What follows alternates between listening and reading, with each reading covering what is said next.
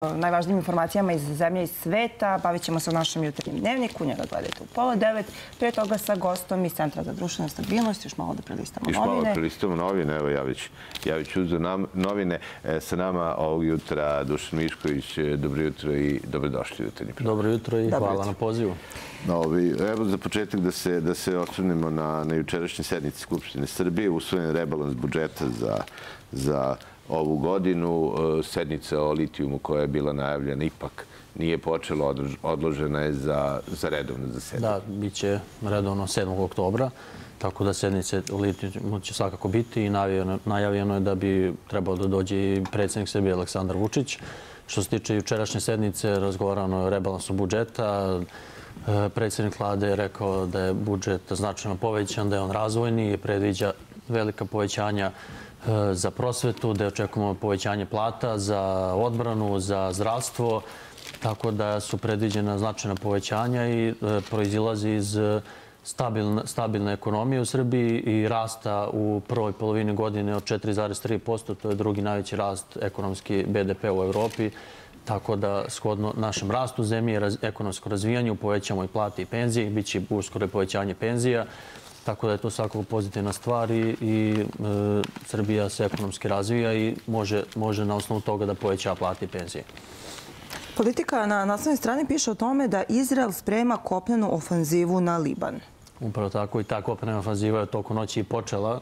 Tako da imamo potvrde već da Izrael započeo svoju kopljenu ofanzivu na Liban i to je nešto što je najavljivano već danima unazad i e, videli smo da Izrael sprovodi neku svoju politiku već od 1945. godine gde je svestan da je okružen zemljama koje neprijateljski gledaju na njega i sprovodi vojne operacije. Sada vidimo da otklanja opasnost koja dolazi od strane Libana i prehodnih dana smo videli napade iz vazduha, pre svega da je, kada je ubijen sa svojom porodicom i vođa Hezbolaka.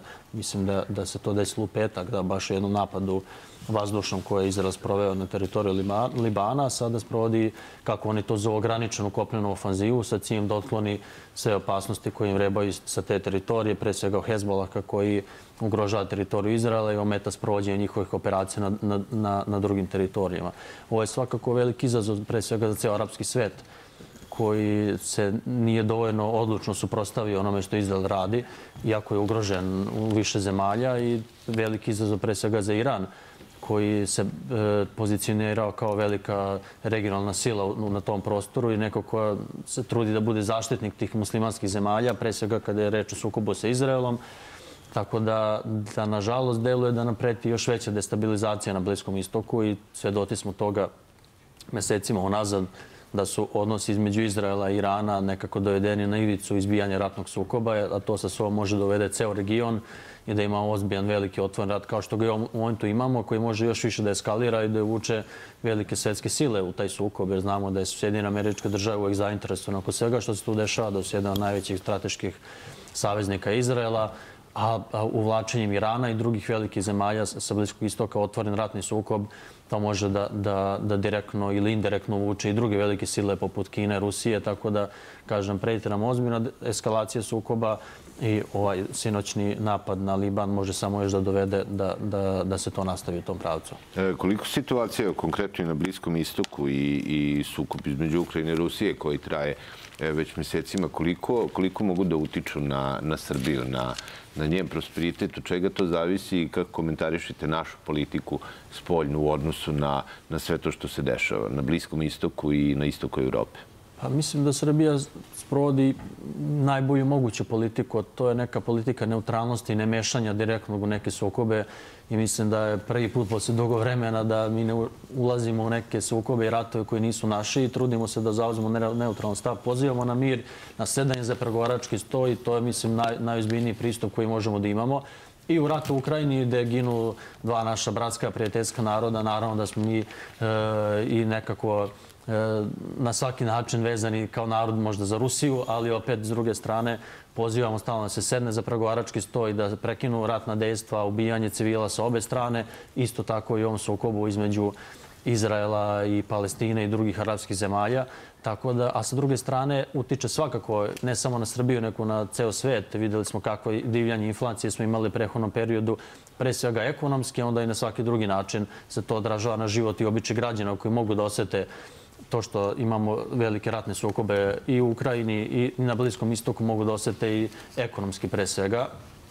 A s druge strane i politički vidimo da se sve dosta polarizuje, menja i da Srbija mora da nađe neko mesto u tom, u tom novom svetu koji nastaje. Vidimo jačaje neki saveza na istoku, pre svega tog BRICS-a, da, da imamo drugačije, da svet više nije unipolaran kao što je bio 90. godina, jačaju neke druge sile. E, Kina, Rusija su, Indija pre svega isto, tako da da, da Srbija svako mora da nađe neko svoje mesto. Ona se nalazi u Evropi, na evropskom je putu, strateški opredeljena za to, ali opet trudi se da bude nezavisna, suverena i da gleda pre svega svoje interese. Politika na naslovnoj strani piše o tome da je post-izborna kombinatorika u Austriji. Slobodarska partija ne odustaje od kancelarskog mesta. Slobodarska partija je odnala najveći broj glasova, ali bit će i teško da, da, e, da formira vlast iz razloga što već vidimo koaliciju druge i treće partije po, po osvojenom broju glasova koja, koja je već na vidiku, tako da vidjet ćemo šta će biti, ono, da li će Slobodarska partija uspeti da, da nađe nekog partnera, da se njim formira vlast i e, materializuje onaj broj osvojenih glasova koji su ostvarili na izborima. E, Večernje novosti na naslovnoj strani e, donose neke detalje iz izmene krivičnog zakonika. Predlog je da e, kazna bude 8 godina za napad na lekara ili nastavnika, kazna za obučavanje maloletnika da puca je do 3 godine, kazna za nasilje u porodici do 12 godina. Da li bi, po vašem mišljenju, te nove sankcije koje se e, predviđaju, e, da li bi mogli da odvrate sve počinioci? Nadamo se da da, upravo je to i smisao i cilj ovakve povećanja e, kazne u krivičnom zakoniku. Ono što je meni privuklo pažnju dosta jeste e, velike kazne za napad na prosvetne radnike, na lekare. I to je nešto, mislim, što je naše društvo i očekivalo da se desi, jer smo, nažalost, imali se one nemile scene po društvenim mrežama i slušali svakake priče o napadima na nastavnike i mislimo da će na taj način da se malo poboljša položaj uz najavno i povećanje plata, da da vratimo e, taj neki status u našem društvu koji su nekad imali prosvetni radnici i da svakako mislim da samo dobro može da, da donese takva mera i da odvrati sve moguće pokušaje napada i fizičkog i, i svakog drugog na, na naše prosvetne radnike, naše lekare i da, i da povećanje e, kazni može samo da doprinese tome. E, određani su i vanredni lokalni izbori u Podgorici, DPS-u 19. mandata.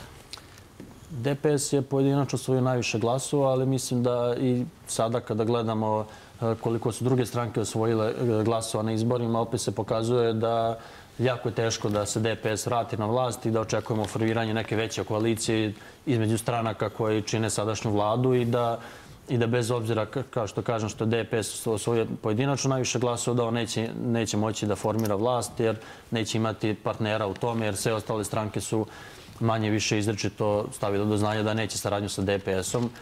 Vidjet ćemo kako će ova nova stranka Jakova, Milato, Jakova Milatovića i, e, koji je zajedno izašao na izbore sa Dritanom Abazovićem, kako će oni sada postupiti. Oni mogu da budu taj tas na vagi, ali očekuje se da se formira neka veća koalicija i da imamo sličnu strukturu vlasti i u Podgorici kao i na nivou države. I da se vratimo i na domaći teren, veče novosti na, na strani četiri e, donose priču o situaciji na Kosovu i Metohiji. Juče raspravljaju skupštinski odbor, to je bila sednica zatvorena za javnost, a takođe večere novosti donosi ispovest Dušanke Aleksić iz centra Gračanice u čiju kuću je upao maskirani napadač. E, činjenica je da situacija sa ovim provokacijama da je svaki dan sve, sve zategnutije i da te provokacije čine dosta da da ceo, da ceo taj e, region bude destabilizovan. Nažalost, jeste tako. Videli smo se, odločili smo još jednom napadu, pisali su mediji o tome koji je stvarno monstruozan i kada vidimo šta se naš narod proživljava u našoj južnoj pokrajini, svakodnevni napadi, maltretiranja, do, do onih direktnih stvari koje sprovodi režim Ajdina Kurtija, hapšenje bez ikakvog osnova, upadanje sa dugim cevima u institucije. I sve to ima za cilj da izazove strah kod našeg naroda i da izazove takvo stanje da se naš narod poče sam iseljavati sa tog područja. I to je upravo cilj prištinskih vlasti da dovede do etničko čišćenja našeg naroda koji bi napustio tu teritoriju što svakako država Srbija ne može i neće dozvoliti i staći iza svog naroda kao što je to od sada radila i apeluje stalno međunarodnu zajednicu da reaguje i tražimo ono da se implementira na terenu, ono što je potpisano previše od 10 godina, a to je u Brislavskom sporazumu zajednica srpskih opština koja bi garantovala kakvu takvu bezbednost našem narodu i nekakvu samoupravu da bi ne bismo imali svakodnevno ovakve slučaje u novinama o kojima ste pričali. Hvala vam lepo. Hvala vam puno što ste bili gost našeg jutarnjeg programa i što smo zajedno prelistali najvažnije naslove.